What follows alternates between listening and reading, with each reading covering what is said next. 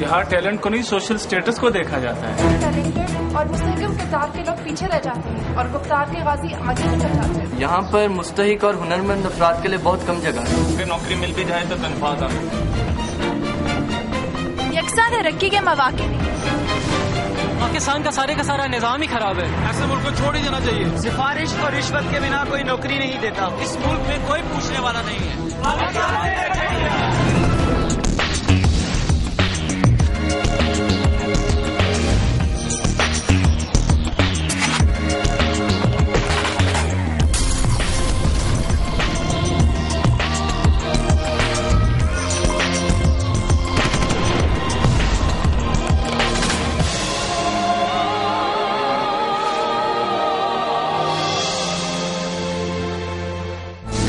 पाकिस्तान में रखा क्या है?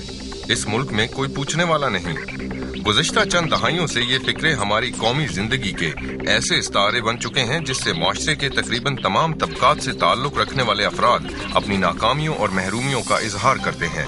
बिलखसूस, आला तालीम याफ्ता और हुनरमंद नौजवान। रोज़गार और सलाहियतों के मुताबिक मौाक़े न मिलने की वजह से अक्सर यही कहते दिखाई देते हैं। उन्नीस सौ सैतालीस में पाकिस्तान को हिजरत करने वाले तकरीबन तिहत्तर लाख महाजरीन के लिए इस मुल्क में सब कुछ रखा था। एक बेहतर कल की उम्मीद, माशी खुशहाली, तरक्की के यकसा मौाक़े और मसावियाना हकूक की जमानत। मगर अफसोस कि तिरसठ साल में ऐसे हौलनाक वाकयात और मनफी तब्दीलियाँ रूनुमा होती रहीं, जिनके बिना पर आज हमारे आवाम की सारी उम्मीदें बैरूनी ममालिक की तरफ़ जुड़ गई हैं। वो हिजरत थी जिसमें उस वक्त के नौजवानों की उम्मीदों का महवर पाकिस्तान नामी नौजायदा ममलिकत थी। और एक ये हिजरत है जिसमें आला तालीम याफ्ता पाकिस्तानी नौजवान रोशन मुस्तकबिल और बेहतर मौाक़े की तलाश में बैरूनी ममालिक की तरफ़ कूच कर रहे हैं। रिवायती तौर पर पाकिस्तान से मेहनत कश तबका 1960 और 1970 की दहाई से दूसरे ममालिक में काम करने जा रहा है। इन मेहनत कशों का पाकिस्तान से बाहर काम करना न सिर्फ़ उनके लिए, बल्कि मुल्क के लिए भी मुफीद है। बाहर से बेहतर तनख्वाह लेकर न सिर्फ़ वो अपने खानदान के हालात बेहतर कर लेते हैं, बल्कि कीमती जर मुबादला वापस भेज कर पाकिस्तानी मीशत को भी सहारा देते हैं। मगर पढ़े लिखे आला तालीम याफ्ता तबके का पाकिस्तान से अखराज सख्त नुकसानदेह साबित हो रहा है।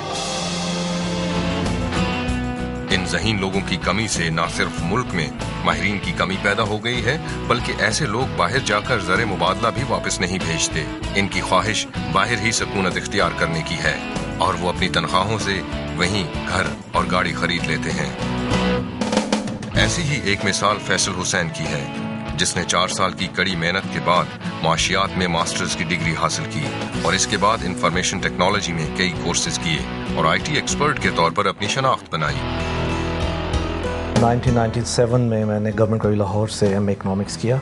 उसके बाद मैंने कंप्यूटर साइंसेस की तरफ़ स्विच किया।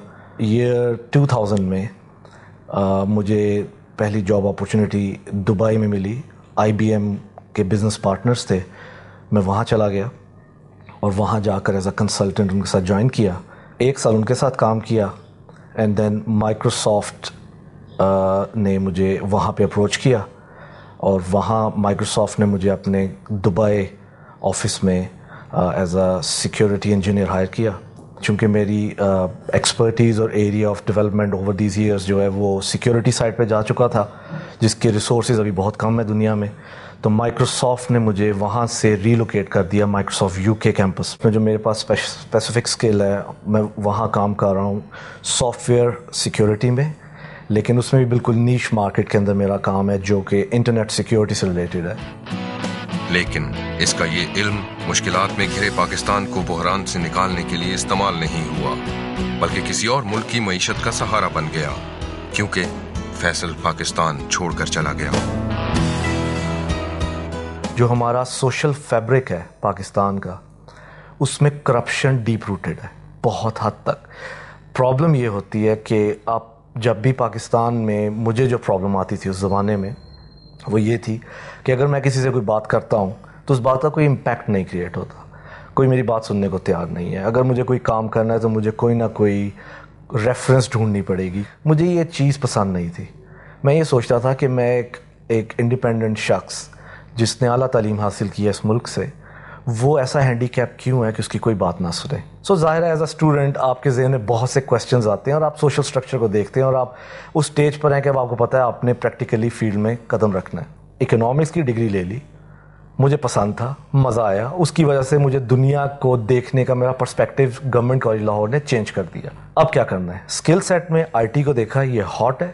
और यही अगले 10 से 15 साल तक थर्ड वर्ल्ड कंट्रीज़ के जो हमारी जैसी यूथ है, उनके लिए एक बड़ा ज़बरदस्त एक रास्ता होगी। सो मैंने अपनी रिसर्च करके जो मुझे सबसे फिजिबल और मेरी जेब के मुताबिक जो मुझे अफोर्डेबल कोर्सेज नज़र आए, मैंने वो किए। और उसके बाद बजाय रुकता, जैसे ही मुझे उसकी बेस पे कोई जॉब अपॉर्चुनिटी मिली और वो भी इंटरनेशनल मार्केट में मिली तो मैं वहाँ चला गया। हर साल पाकिस्तान से फैसल की तरह कई जहीन, हुनरमंद, आला तालीम याफ्ता अफराद अपनी किस्मत आजमाने पाकिस्तान छोड़कर चले जाते हैं। मुख्तलिफ़ वजूहत की बिना पर साल साल से ये खराज बढ़ता ही चला जा रहा है। अंग्रेज़ी जबान में इसको ब्रेन ड्रेन कहते हैं।